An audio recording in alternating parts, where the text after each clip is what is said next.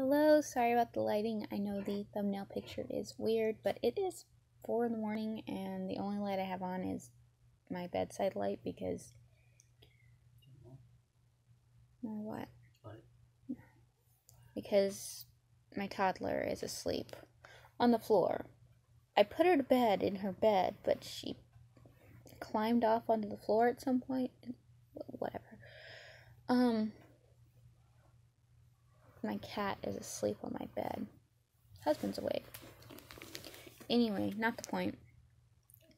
I'm tired. Can you tell? Um, Dark Archives, a librarian's investigation into the science and history of books bound in human skin. And I'm probably going to mispronounce this, but it's anthropodermic bibliopegy, is what she calls it in the book. It's by Megan Rosenbloom. All this here. Like over here it's glary, but over here it's dark. So there there we go.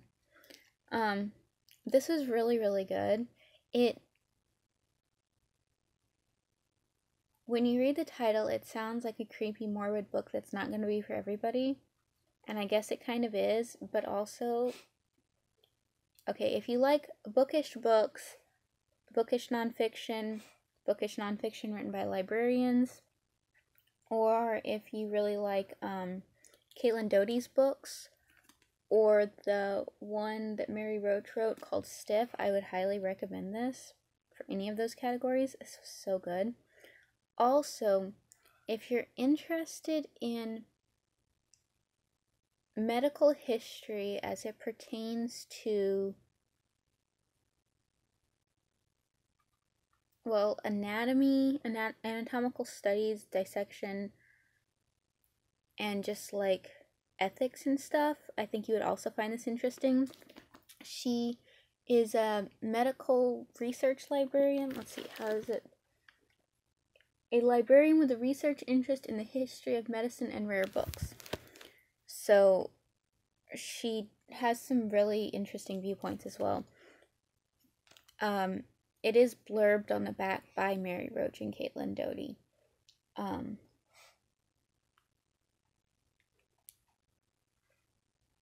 as well as Lindsey Fitzharris, who I've not read, but I have heard her her book, The Butchering Art, and it sounded really good. I'm not talking about that. I'm talking about this. I really need to go. This was really, really good, and it's not very long. It looks a bit longer than it is because it has a bunch of notes and stuff in the back. But basically, medical history sort of books made people skin.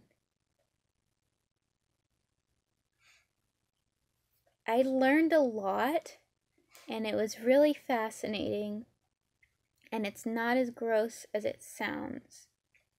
Filled with examples throughout history with context as to their creation, Yes.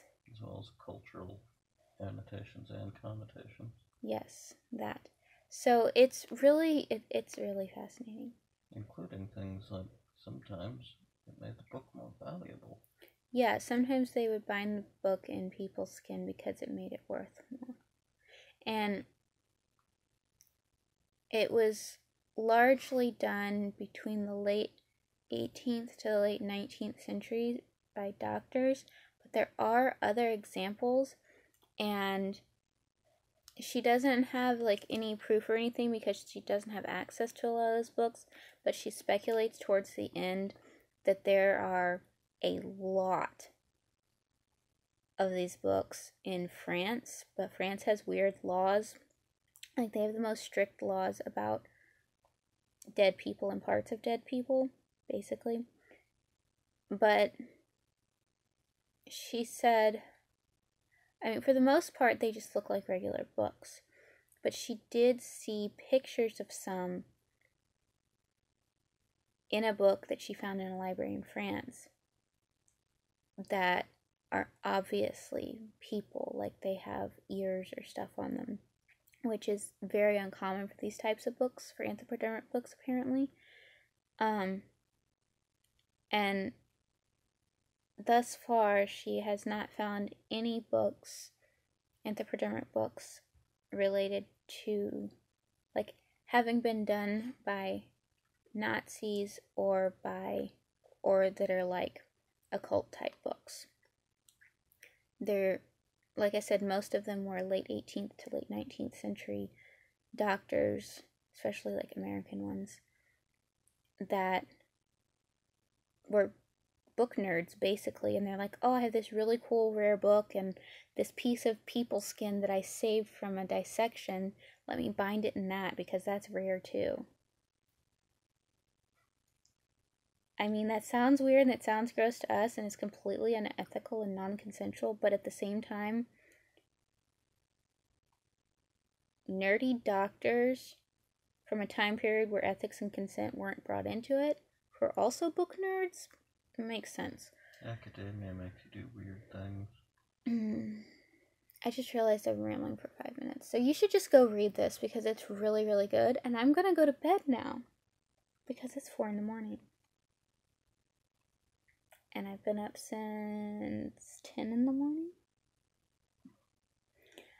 Yeah.